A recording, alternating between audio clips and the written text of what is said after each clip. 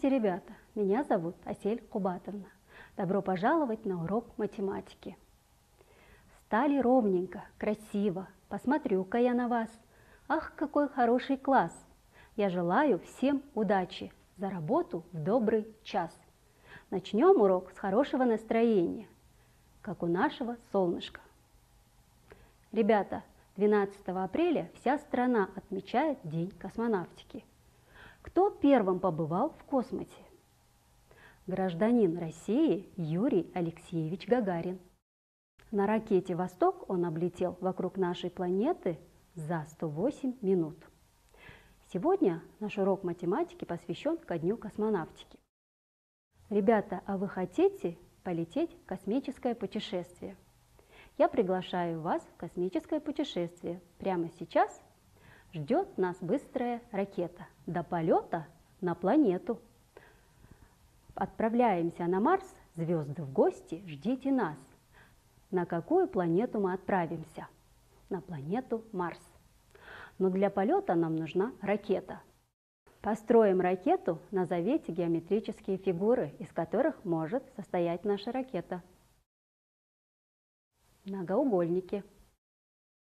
Давайте составим из этих геометрических фигур ракету. Молодцы, ребята, вот такая ракета у нас получилась.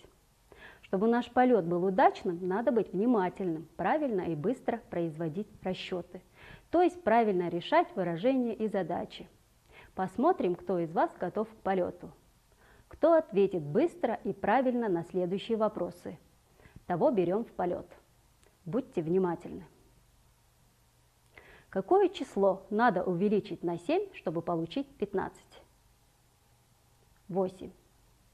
Насколько число 62 больше числа 42? На 20. Найдите сумму чисел 44 и 7. 51.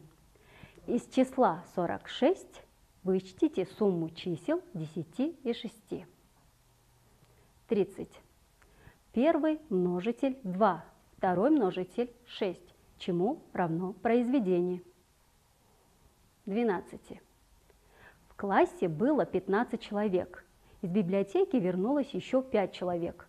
Сколько человек стало в классе? 20.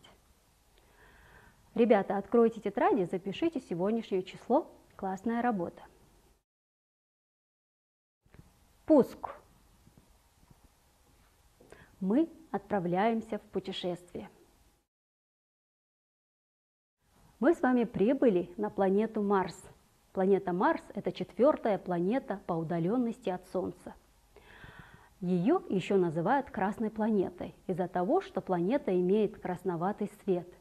Названа планета так в честь древнегреческого бога войны Марса. Здесь нас встречают местные жители – марсиане – которые приготовили вам интересные задания. Они хотят узнать, насколько хорошо мы с вами изучили математику и сможем ли мы им помочь раскрыть один секрет. Первое задание от инопланетян. Рассмотрите внимательно выражения. Можно ли сравнить данные выражения, не вычисляя их? Сравните выражения. Проверьте себя.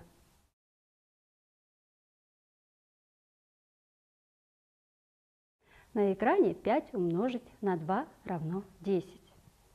Прочитайте равенство, называя компоненты умножения. Первый множитель, второй множитель, произведение. Подберите к этим равенствам рисунки. Использовать можно кружочки. Подберите к этим равенствам по два выражения, используя деление. 10 разделить на 5 равно 2. И 10 разделить на 2 равно 5. Какое правило вы использовали при составлении выражений? Если произведение разделить на один из множителей, то получится другой множитель. Итак, тема нашего урока – прием деления, основанный на связи между компонентами и результатом действия умножения. Попробуем сформулировать задачу урока. На уроке мы с вами продолжим закреплять знания о связи между компонентами и результатом умножения. Освоим прием деления при помощи примера на умножение. Рассмотрите первый столбик примеров. Используя произведение, найдем неизвестные множители. Каждому примеру на умножение составьте два примера на деление. 4 умножить на 3 равно 12. 12 разделить на 4 равно 3.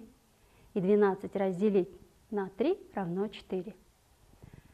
Аналогичную работу проделайте со вторым и с третьим столбиком. Проверьте себя. Молодцы, ребята. Давайте решим задачу. Прочитаем задачу. Цена тетради 3 сома. Сколько стоит 5 таких тетрадей? Сделайте схематический чертеж и решите задачу. Составьте и решите задачи обратной данной. Сколько стоит одна тетрадь? Три суммы. Что нужно узнать? Сколько стоит пять тетрадей? Сделайте чертеж задачи. Решение задачи. 3 умножить на 5 равно 15. Ответ 15 сомов. Составьте две обратные задачи. Обратная задача номер один – на 15 сомов купили несколько тетрадей, по 3 сома за тетрадь. Сколько тетрадей купили? 15 разделить на 3 равно 5. Ответ – 5 тетрадей. Обратная задача номер 2. За 5 тетрадей заплатили 15 сомов. Сколько стоит одна тетрадь?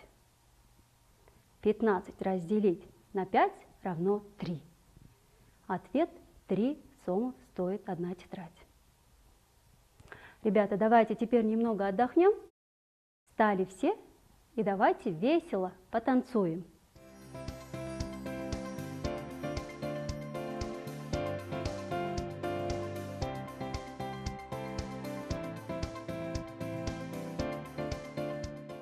Продолжаем работу. Прочитайте задачу. В киоске за один день продали 50 тетрадей, а осталось на 27 тетрадей меньше, чем продали. Сколько всего тетрадей было в киоске до продажи? Что известно в задаче? Известно, сколько осталось тетрадей. Как это записать? Что нужно узнать? Перед вами краткая запись. Продали 50 тетрадей, осталось неизвестно на 27 тетрадей меньше. Было неизвестно. Повторите задачу по краткой записи. Сколько знаков вопроса в краткой записи? Что это значит? Это значит, что задача решается в два действия. Первое действие 50 минус 27 равно 23. Осталось 23 тетради. Второе действие 50 плюс 23 равно 73. Ответ задачи было 73 тетради. А можем ли мы эту задачу записать выражением? Да, 50 плюс, скобка открывается, 50 минус 27, скобка закрывается, равно 73. Молодцы, ребята. Рассмотрите фигуру, изображенную на слайде.